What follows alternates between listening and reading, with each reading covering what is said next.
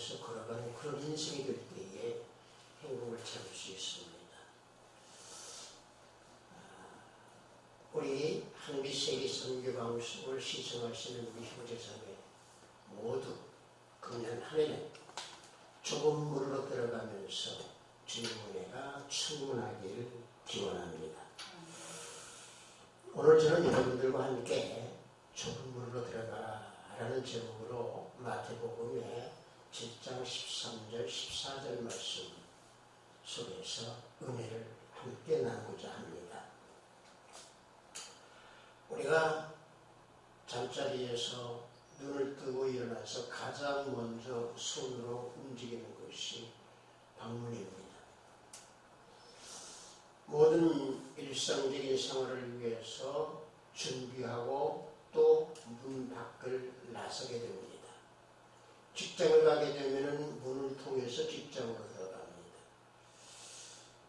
또 모든 일을 끝내고 집에 들어올 때는 문을 통해서 집에 들어오고 또 문을 통해서 내 방에 들어와서 휴식을 취하게 됩니다. 하루하루의 모든 삶 속에서 문은 우리하고 아주 밀접한 그런 관계를 가지고 있는 게 문입니다. 그런데 이 문은요, 우리가 말을 하고 단어를 쓸 때에 두 가지로 많이 쓰고 있습니다. 하나는 추상적인 개념의 문이 있고 하나는 건축 개념의 문이 있습니다. 추상적인 개념의 문이라고 한다고 하면 우리가 대부분 뭐 등용문이다 또는 문벌이 좋다 또는 우리는 명문학교를 다닌다 이런 말들을 많이 하는데 이건 추상적인 문에 대한 개념이죠. 건축 개념을 본다고 하면 우리는 맞습니다. 건축 개념은 뭐 어, 노길이네 또는 사이길이네 차갈길이네 뭐 여러 가지 예, 문에 예, 아 제가 잘못 얘기했습니다. 차갈길이나 이러한 아, 길이 있습니다. 또 문이 건축 개념으로 문을 본다고 하면은 성경에서는 우리가 볼 때에 논문이나 또는 장막문 또는 뜰문, 옥문 또는 샘문, 양문 이런 모든 것들이 성경에서는 기록되어 있습니다. 성경에서 또 이 건축 개념이 아닌 추상적인 개념의 이, 이 문을 보면은 뭐 사망의 문이네 또는 의의 문이네 또는 존귀한 자의 문이다 이런 문들의 개념이 많이 있습니다. 모든 문 중에서 성경에서 나오는 문 중에 우리가 가장 깊게 또 우리가 다가가고 우리가 느끼고 깨달아야 할 문 한 가지가 있습니다. 그 문은 양의 문입니다. 양의 문은 우리가 느헤미야에서 보면은 그 양의 문에 대한 설명을 해주고 있습니다. 느헤미야 3장 1절을 보면은요. 그때 대제사장 엘리야십이 그의 형제 제사장들과 함께 일어나 양문을 감축하고 성별하고 문자를 단다 이런 말씀이 있습니다. 여기서 양문이라고 한다고 하면 당시에 성문 자체에서 하나님께 제사를 드리고 하나님께 제물을 드릴 수 있는 양을 가지고 들어가는 문을 양문이라고 했습니다. 그런데 우리가 신약이 들어와가지고 우리 예수님이 이 땅에 오신 이후에 양문은 예수님께서 직접 말씀하신 자신이 양문이다라고 우리에게 교훈을 주고 계십니다. 요한복음 10장 7절을 보면은 내가 진실로 진실로 너희에게 말하는 나는 양의 문이라. 자 이게 양의 문을 여기에서 놓고 볼 때 두 가지를 볼 수가 있습니다. 하나는 양들을 기르기 위해서 울타리를 만들어 놓은 그 양의 문. 그 다음에 또 한 가지는 예수님 스스로 우리 예수님께서 양의 문이다. 해서 이 두 가지 개념으로 우리는 볼 수가 있습니다. 그 중에서 우리가 울타리를 쳐놓은 그 양의 문이 아닌 예수님께서 양의 문이라고 말씀하신 그것을 우리는 오늘 뭐 묵상하며 은혜를 나누고자 합니다. 그래서 그 양의 문을 우리가 놓고 본다고 하면 성경에 있어요. 양의 문은 좁은 문이다. 또 좁은 문이기에 의문이다. 라고 말을 하고 있습니다. 시편 118편 19절과 20절을 보면은 내게 의의 문들을 열지어다 내가 그리로 들어가서 여호와께 감사하리로다 이는 여호와의 문이라 의인들이 그리로 들어가리로다 우리는 예수 그리스도를 영접하고 예수님을 우리가 구주라 고백하면서 우리는 문으로 들어갔습니다. 어떤 문으로? 의의 문으로 들어갔습니다. 자, 의의 문으로 들어갔다고 하는 것은 우리가 좁은 문으로 들어갔다고 하는 사실입니다. 좁은 문으로 들어갔다고 하는 사실은 내가 새로 거듭 태어난 성령과 물로서 거듭 태어난 존재로서 들어간 그 좁은 문 양의 문이라고 하는 사실입니다. 따라서 이 양의 문은 신앙의 문이요, 의의 문이요, 믿음의 문이요, 우리가 걸어가고 우리가 들어가야 할 그런 문이라고 하는 사실입니다.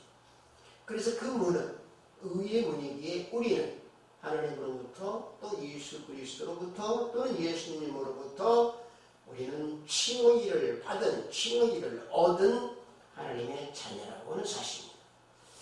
그래서 로마서 3장 22절을 보면은 곧 예수 그리스도를 믿음으로 말미암아 모든 믿는 자에게 미치는 하나님의 의나 차별이 없느니라 그랬습니다. 예수님을 믿는데 우리가 의인이 아니라고 한다고 하면 입으로 믿는 사람이겠죠. 또한 바이신과 같은 믿음을 우리는 지니는 사람이라고 말을 할 수가 있습니다. 그래서 우리는 이 세상을 살면서 넓은 길로 가지 아니하고 좁은 문으로 들어가서 좁은 길로 걸어가라고 하는 사실입니다. 그런데 우리가 좁은 문으로 들어가서 좁은 길로 걸어가라. 우리 설교 너무 많이 듣습니다. 대부분의 좁은 문, 좁은 길, 이 길이 어떤 길이라고 하는 그 설교 우리도 많이 듣고 있습니다. 그래서 우리가 성경에서 보면 좁은 길, 좁은 면, 문을 가지고 얘기하고 또 설명해 주시는 사도 베드로는 우리들에게 인생길을 나그네 길이라고 표현하고 계십니다. 그 나그네 길인데 그 나그네 길이 넓은 길이 아닌 좁은 길로 걸어가라고는 얘기입니다. 좁은 문으로 들어가서 좁은 길을 선택해서 좁은 길로 걸어가라고는 사실입니다. 우리가 일상적인 생활을 지켜두고라도 우리의 인생 여정 속에서 과연 내가 넓은 길을 택해야 될지 좁은 길을 택해야 될지 이 선택은 누구한테 있느냐 오직 나한테 있습니다. 다른 사람한테 있는 게 아닙니다. 내 부인에게 있는 것도 아니고 내 자식에게 있는 것도 아니고 내 부모에게 있는 것도 아닙니다. 오직 나한테 있습니다. 그래서 하나님께서는 우리에게 어떤 말씀을 하느냐? 선한 길을 찾으라. 좁은 길인 그 선한 길을 찾으라고 우리에게 교훈하고 계십니다. 예레미야 6장 16절을 보면은 이런 말씀을 하고 있습니다. 여호와께서 이와 같이 말씀하실 때 너는 길에 서서 보며 그랬습니다. 길에 서서 보라고 그랬습니다. 어떤 것을 보냐? 옛적 길, 서, 곧 선한 길이 어디인지 알아보고 그리로 가라 말씀하셨습니다. 선한 길이 어디인 줄 알고 그리로 가라는 얘기입니다. 이 선한 길이 어떤 길입니까? 좋은 길. 그래서 그 선한 길로 걸어가면은 후반부에 하나님께서 뭐라고 말씀하고 계시느냐? 너희 심령이 평강을 얻으리라 말씀하고 있습니다.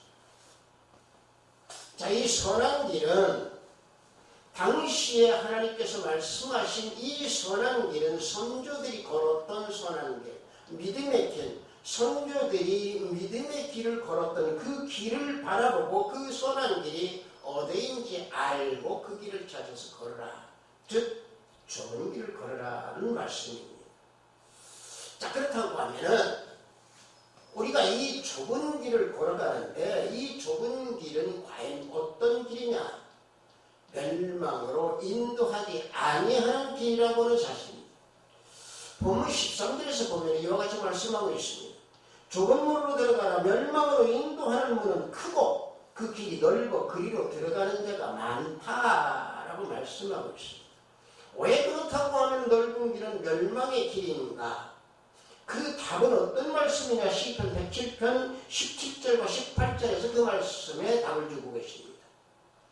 뭐라고 말씀하고 계시느냐? 미련한 자들은 그 길에 죄악의 길을 따르고 그들의 악을 범하기 때문에 고난을 받아 그들은 그들의 모든 음식물을 싫어하게 되어 사망의 문에 이르렀도다. 이게 넓은 길입니다. 사망의 문이 넓은 길입니다. 죄악의 길을 따라가는 것이 넓은 길입니다. 미련하고 악한 사람들도 어리석은 사람들, 둔한 사람들 반드시 죄악의 길로 걸어가게 되어 있습니다. 그 죄악, 죄악의 길이라고 하는 것이 어떤 길이냐? 내가 예수 그리스도를 믿기 그 이전의 육적인 삶의 길. 내가 예수를 믿고 난 이후에 거듭 태어나기 전에 옛 세상에서 찾았던 그 삶의 모습, 그 모습으로 걸어가는 길이 넓은 길이요, 멸망의 길이라고 하는 사실입니다. 다시 말하면 내가 죄악을 짊어지고 걸어가든 내가 죄악을 행하든 내가 육적인 행동을 행하든 누가 간섭하지 아니하고 내 뜻대로 내 생각대로 내 행위대로 걸어가는 그 길, 그게 멸망의 길이요, 그게 넓은 길이요, 그게 사망의 길이라고 하는 사실을 우리는 성경에서 분명히 우리에게 교훈하고 계신다라고 하는 사실.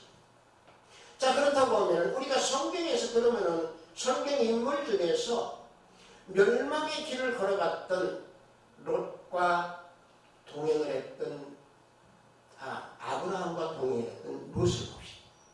롯은요 아브라함과 헤어질 때에 어떻게 헤어졌느냐 롯이 바라보니까 소돔과 고모라라고 하는 그 성이 에덴 동산과 같이 아주 화려하고 아주 좋게 보였다라고 하는 사실이죠. 자 그래서 그 길을 선택했고 그 성을 선택했습니다. 그 성을 선택했던 롯의 삶은 어떻게 되었습니까? 죄악이 가득한 그 성에서 결국에는 육적인 삶을 살고 결국에는 유황불비를 맞아서 죽게 되는 그런 상황 속에서 하나님께서 구출해 주셨습니다. 자, 구출해 주셨으면 또 올바른 길을 좁은 길로 걸어가야 함에도 불구하고 그러지 못하고 딸과 동굴 속에서 죄악의 길을 걸어갔던 롯이었습니다. 결국에는 범죄 생활을 하다가 죽게 되었습니다. 이게 멸망의 길이요 세상의 넓은 길입니다.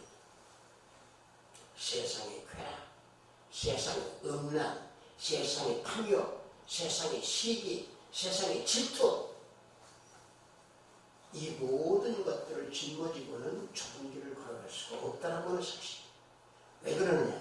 조금 전에 말씀드린 대로 이러한 모든 육적인 생활을 할 때에는 누구한테 속박받지 아니하고 그 길을 나는 자유롭게 걸어갈 수 있고 그 길에서 나는 모든 행동을 내 뜻대로 자유롭게 할 수 있기에 그 넓은 길은 편하다라고 사실.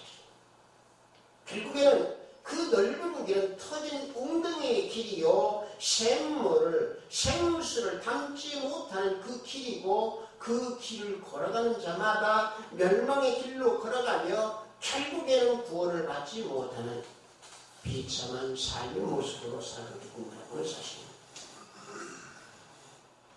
여러분들 예수님 믿고 난 이후에 나는 구원 다 받았어. 나 예수님 믿어. 나 예수님 믿기 때문에 나는 변화가 됐어. 입술로는 다 합니다. 여기서 설교하고 있는 이 목사, 이 목사도 변화됐다고 득이나 말들 많이 했습니다. 자랑도 많이 했습니다. 실질적으로 변화된 모습이 아닌 입술로만 변화된 걸 저는 많이 보였습니다. 죄악 많이 저질렀습니다.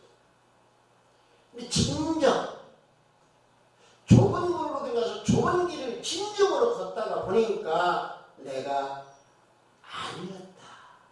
나라고는 사, 나라고는 사람이 진정으로 좁은 길을 걸어갔던 사람이 아니고 넓은 걸어가면서 좁은 길을 걸어갔고 넓은 길을 걸어가면서 나는 변화됐다고 나는 남한테 자랑을 했었던 그런 죄였습니다.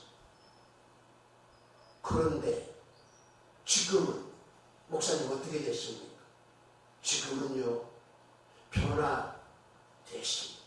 그런데 변화됐다가 자랑하지 말라는 얘기입니다. 왜? 사람은 연약해진 인간, 연약해지는 육을 지니고 있기 때문에 항상 죄가 미혹을 해서 그쪽으로 걸어가려고 합니다.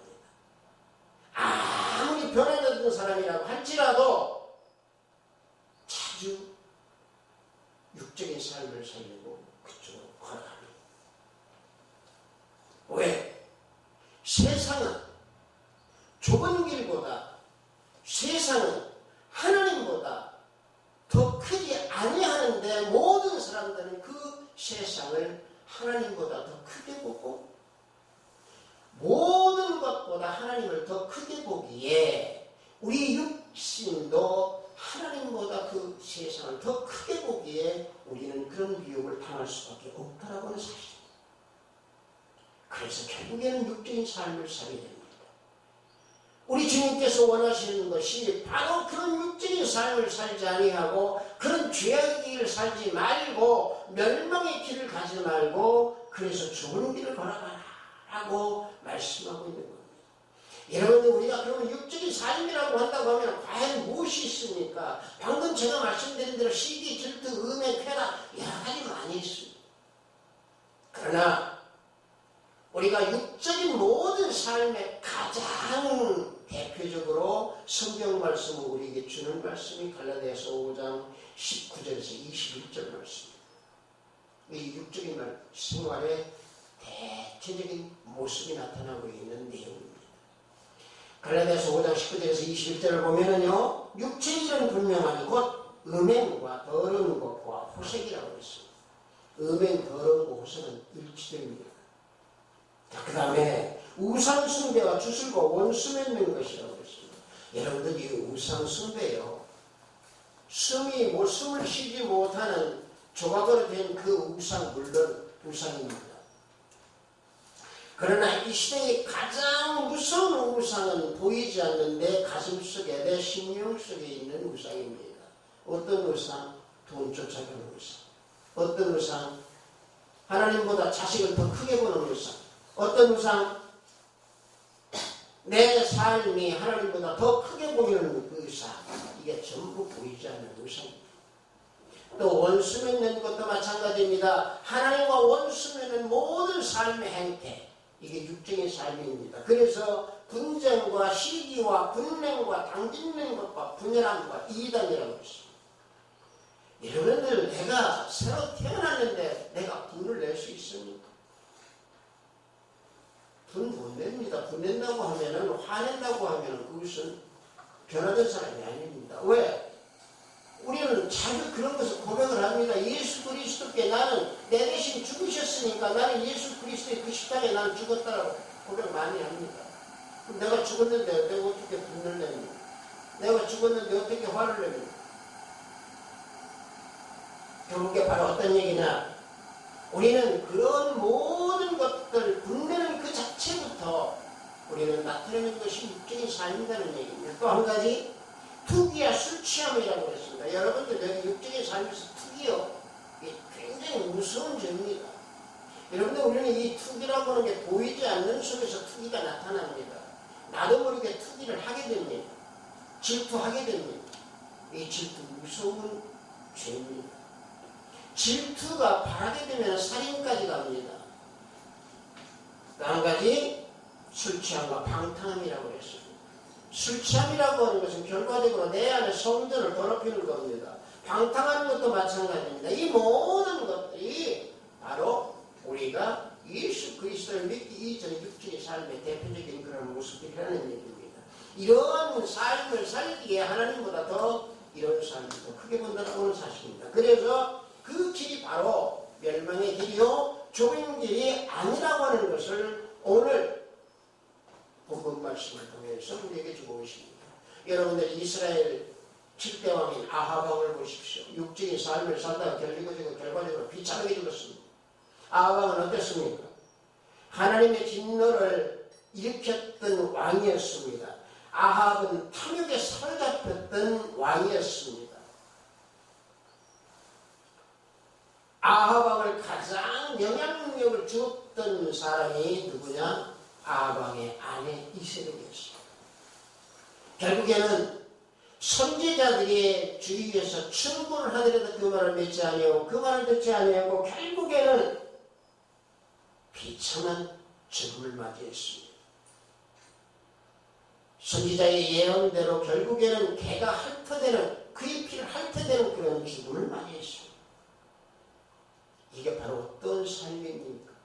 멸망의 길을 걸어갔던 삶, 넓은 길을 걸어갔던 그의 모습, 넓은 길에 결과적으로 비참한 삶을 맞이했던 그들의 최후입니다. 여러분들, 좋은 길로 좁은 문을 열어서 걸어갑시다. 예수님께서는 우리 보고 오늘 좁은 문으로 들어가서 좁은 길을 걸어가라고 말씀하고 있습니다. 하나님께서는 우리에게 그래서 두 가지 길을 놓으셨습니다. 생명의 길과 사망의 길이요 저주의 길과 복의 문을 두셨습니다. 신명기 30장 19절을 보면은 내가 오늘 하늘과 땅을 불러 너희에게 증거를 삼느라 내가 생명과 사망과 복과 저주를 내 앞에 두었으니 너와 내 자손이 살기 위하여 생명을 택하라 말씀하고 있습니다. 여기서 생명은 뭡니까? 예수 생명을 택하라는 얘기입니다. 예수 생명은 뭡니까? 예수 생명을 택하려면 어떻게 해야 됩니까? 좁은 문으로 들어가라고 얘기입니다. 좁은 문으로 들어갔을 때 좁은 길을 걸어가게 됩니다. 그래서 그 좁은 길이라고 한다고 하면 목사님 어떤 길을 좁은 길이라고 말씀할 수 있습니까? 나 좁은 길을 걸어갑니다. 좁은 길로 걸어가는 분은 반드시 생명수 안에서 주님의 생명 안에서 거하면서 생명의 문으로 걸어가서 좁고 협착한 문으로 들어가서 걸어가는 그런 삶이라고 하는 사실입니다. 본문 14절에요. 생명으로 인도하는 문은 좁고 그 길이 협착하여 찾는 자가 적다고 했습니다. 왜 찾는 자가 적겠습니까? 생명의 길로 가기 때문에 그렇습니다. 죄악을 짊어지고는 걸어갈 수 있는 길이 아닙니다. 옛 성품, 옛 모습으로 그 길을 걸어갈 수 있는 길이 아닙니다. 오직 그 길을 걸어갈 수 있는 사람은 내가 새로 거듭 태어난 모습으로 의를 받은 자다운 그런 모습으로 걸어가는 자만이 그런 좁은 길을 걸어갈 수 있다는 사실입니다.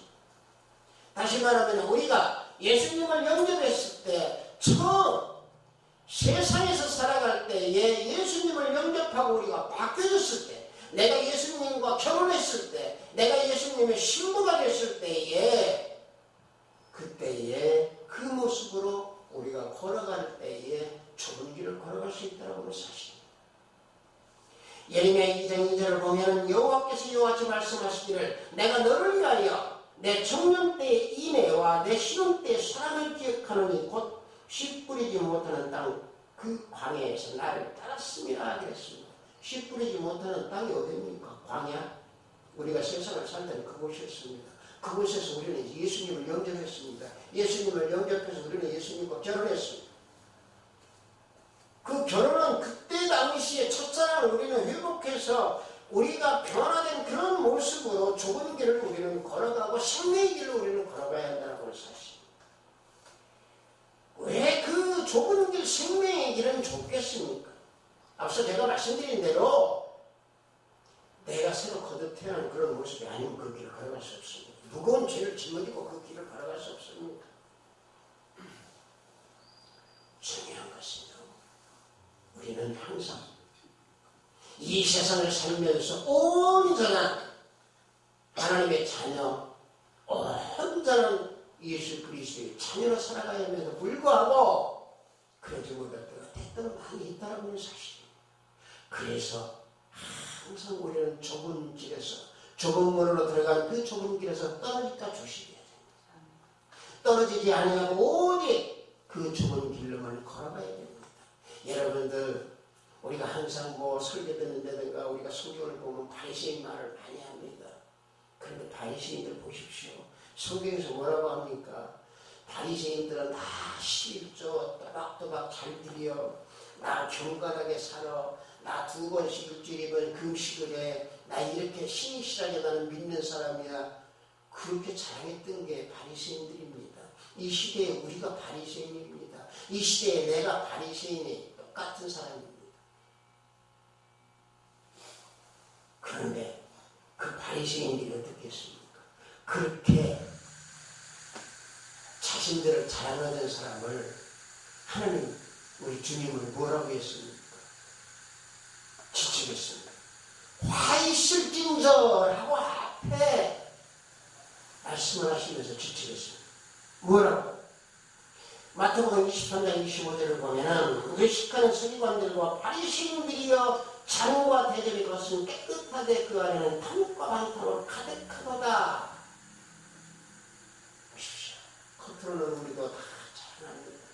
겉으로는 우리도 다 믿는다고 얘기합니다. 겉으로는 다 나도 깨끗하고 나도 다 순결하고 나도 다 믿음 좋고 나도 다 믿는다고 말합니다. 그러나 속은 방탕과 탐욕과 거짓과 질투와 시기가 가득한 내 마음이라고 하는 사실입니다. 그래서 바리새인들의 결과는 어떻게 됐습니까? 예수님을 못 박았습니다.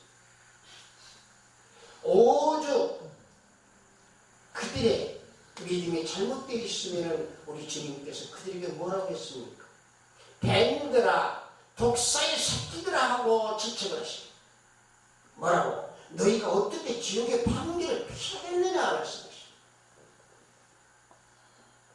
예수님을 못 받고 예수님 옆구리에 창을 찔렀던 그들 결국에는 메시아를 알아보지 못하고 결국에는 예수님을 알아보지 못하고 오직 율법 속에서만 살았던 바리새인들의 그 믿음 그래서 우리는 그러한 사 그런 바리새인들의 믿음 여기에서 우리는 탈피해서 여기에서 벗어나서 오직 선한 길 좁은 길, 그 길로 걸어갈 때에 내 안에 예수 생명이 있게 되는 것이고 내 안에 예수 생명이 있음으로 말미암아 나는 성령의 다스림을 받고 내 안에 계시는 성령께서 말씀이 생각나게 만들어 주셔서 나는 말씀에 순종하는 삶을 살아갈 수 있는 겁니다. 그래서 그 말씀을 따라가는 나에게 주님께서는 우리에게 교훈해 주십니다. 내가 길이요, 진리요, 생명이다. 그래서 결국에는 우리는 내 안에 내가 변화된 사람이라고 한다고 하면은 내 안에 말씀이 가득 채워져야 되는 것이고 내가 변화된 사람이라고 한다고 하면 내 안에 예수의 생명이 가득 있어야 하는 것이고 내가 거듭 거듭 내가 바뀌어진 사람이라고 한다고 하면 내 길은 반드시 좁은 길이 내 앞에 있다라고 하는 사실을 우리는 잊어서는 아니 될 줄로 믿습니다. 아멘. 결국에 진리를 모르고 좁은 길을 모르고 성령을 모르고 걸어간다고 하면 결국에는 그건 멸망의 길이요 넓은 길로 걸어가라고 걸어간다라고 하는 사실입니다. 옛 모습, 옛 성품 그대로 간다고 하면은 그것은 결국에는 넓은 길을 걸어가는 사람이요 새로운 모습으로서 생명의 길을 걸어가지 아니하고 오직 입술로만 고백하고 입술로만 믿음을 나타내는 그런 사람이라고 하는 사실입니다. 그래서 예수님은 우리에게 뭐라고 말씀하십니까? 나를 따르기로 하거든 내 십자가를 짊어지고 너를 부인하고 나를 따르라 말씀하고 계십니다. 마태복음 16장 24절을 보면은 예수께서 제자들에게 이르시되 누구든지 나를 따라오려거든 나를 부인하고 자기 십자가를 지고 나를 따를 것이니라 그럽니다. 여러분들 자기 십자가가 뭐가 뭐 어떤 것이 자기 십자가입니까? 내 십자가가 어떤 것이 내 십자가입니까? 저는 목사님 설교를 목사님 십자가를 뭡니까 물어본다고 하면 나는 감히 나는 이렇게 대답할 수 있습니다. 내 십자가는 골가다에서 죽으신 예수 그리스도의 그 십자가 그 십자가가 내 십자가입니다. 라고 나는 대답하겠습니다. 왜? 예수님께서 내 대신 죽으셨습니다. 예수님께서 내 대신 죽으셨으니까 나는 이 자리에 서서 설교할 수 있는 것이고 예수님께서 내 대신 죽으셨으니까 나는 살아있는 것이고 예수님께서 내 대신 죽으셨으니까 내가 그 십자가를 짊어지고 갈 때 오직 예수께서 다 이루신 거 사탄과 싸우셔서 깨트려 부셔서 이기시는 그것만을 믿는 그 길, 그 십자가, 그 십자가를 내가 짊어지고 걸어가는 그 길이기에 나는 그 십자가가 내 십자가라고 나는 말씀드릴 수 있습니다. 다시 말하면 내가 옛 성품, 옛 모습을 버리고 오직 예수 그리스도 안에서 예수 생명 안에서 내가 죽은 자이기 때문에 나는 내 자신이 없고 내 자신이 없다는 얘기가 결국에는 내가 내 자신을 부인하고 부인하고 또 부인하고 또 부인하는 이런 삶을 사는 것이 결국에는 내가 고난의 전까지도 맞설 수 있는 그 길까지 걸어가야 된다. 이 길이 내 십자가라고 저는 말씀드릴 수 있습니다. 여러분들 예수님께서 베드로와 같이 있을 때 예수님은 그랬습니다. 로마 병정들이 예수님을 잡았을 때에 잡으러 왔을 때에 베드로는 어떻게 했습니까? 칼에서 칼집에서 칼을 뽑고 말고의 길을 찾았습니다. 그때에 예수님은 칼에 꽂아 그러고 말씀하십니다. 아버지께서 주신 자를 내가 마시지 아니하겠느냐? 요한복음 18장 11절에서 그 말씀하십니다. 자, 예수님께서 주신 그 고난의 잔, 하나님께서 주신 그 고난의 잔, 내가 마시지 아니하면 어떻게 되겠느냐는 말입니다. 내가 지금 이 시간에, 내가 지금 현재 살아가는 우리 모두가 예수님께서 주시는 그 고난의 잔을 마시지 아니한다고 하면은 과연 내가 내 십자가를 짊어지고 갈 수 있겠느냐? 라고 저는 반문해 보고 싶습니다. 내가 내 모든 육적인 욕정, 탐욕, 시기, 질투 모든 것 십자가 위에 다 못 박았습니다. 못 박았다고 하면은 결국에는 나는 내 십자가를 짊어지고 내가 세운 모습으로 태어난 그런 모습으로 나는 좁은 길을 걸어가는 생명의 길을 걸어가는 그런 내 모습이 되어야 될 줄로 믿습니다. 죄악이 많은 이 세상, 혼돈과 혼탁이 많은 이 세상, 특히 이 시대에 한 치 앞을 보이지 아니하는 혼란한 이 시대입니다.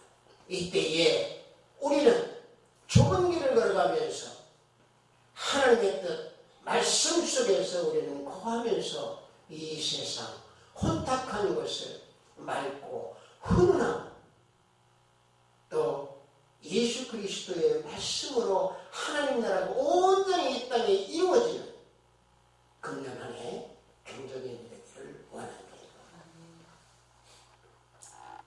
사람이 걷지 아니하는 그 좁은 길 우리는. 좁은 문 열고 좁은 길을 걸어갑시다. 그 길을 걷는 진정한 예수 그리스도의 자녀가 되기를 우리 한 세계 성교방송 시청자 또 형제 자매 모두가 되기를 예수 그리스도 이름으로 축복합니다. 잠시 기도합니다.